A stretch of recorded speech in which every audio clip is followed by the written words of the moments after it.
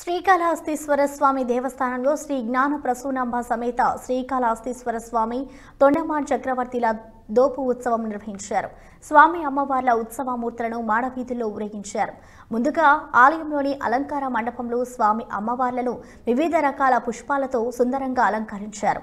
దోపు ఉత్సవం కథను ఆలయ పండితులు తెలుపుతూ ఊరేగింపు వైభవంగా చేపట్టారు.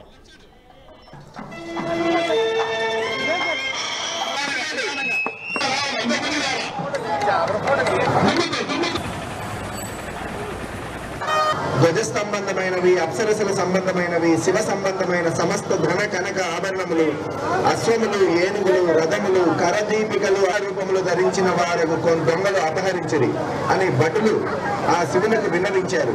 అప్పుడు పరమశివుడు చండీశ్వరుని నందీశ్వరుని పిలిచి వనములందు నగరములందు అన్ని దిక్కులలోనూ వెతికి దొంగలను బంధించి తెమ్మని ఆజ్ఞాపించను. ఈ సకల కార్యము గౌరి శివుని